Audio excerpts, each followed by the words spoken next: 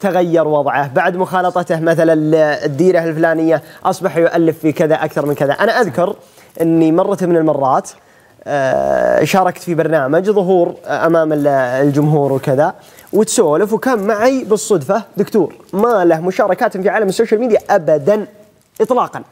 شايب عمره حول 58 سنة. المهم ويوم تحاكى الرجال هم الحادثه يجيب العافية. ينقش الحادث ينقش ينقش. والله العظيم إنه لو أني أكتب معه إنها تخط بماء من ذهب. يا ولد الرجال كارثة. ويتكلم في الأدب ويتكلم عن المتنبي ويذكر قصائد المتنبي لكن لكن اول مرة اسمعها بطريقة اول مرة استشعرها والله يا ريدي عقب ما خلص البرنامج وكذا خذيت أنا رقم الرجال ولا بكتبه كل يوم وأنا داقن عليه. عني في مكان القهوة الفلاني سير عليه الله يحييه وكل الساعة 8 الصباح الشايب يرقد في الليل على طول. يقول لا لا توعدني الساعة 12 في الليل وأنا أبوك. ترى قدنا ثقافة فيها طرف بداوة. أيوه والله يا ريدي اني, إني من بعده.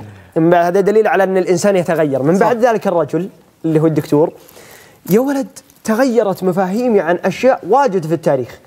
شخصيات كنت أحبها حب عميق وشخصيات كنت يعني اكلها الاحترام لا أكثر من ذلك ولا أقل.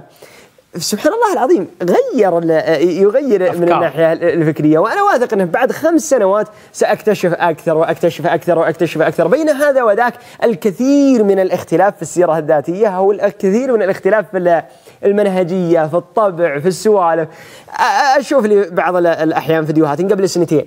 لو انه الحين ما ذكرتها صح صح. ولا كان ودي إني أعطيت الموقف حقه ودي إني أعطيت القصة حقها. صح. يعني كنت بستشارها بطريقة مختلفة. ولذلك نعم. دائما الجلسة مع مع يعني من هم آه، أكثر منا خبرة في أي مجال دائما صراحة أنا مضطر أطلع فاصل.